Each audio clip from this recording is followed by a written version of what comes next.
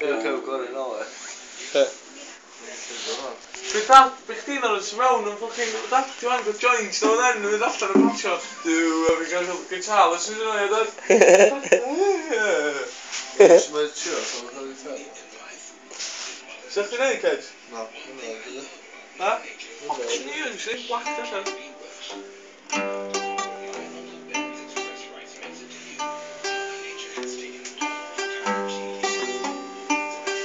Dylan, dwi'n mynd efo pôl. Dwi'n gwybod pan ffog. Ac i ti ddigon o pôl, dwi'n bwysig dwi'n nes.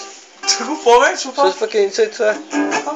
Gyd yn y gyd gylod. Ti'n gwybod, Oes na ffordd i ddal nhw? Oes, fi wedi gwneud y dau bus fo, ti isio, mae'n mynd i fod yn anodd, chdi gael hwnna'i top isio.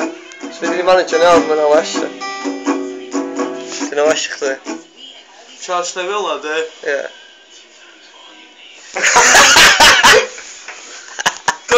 fuck,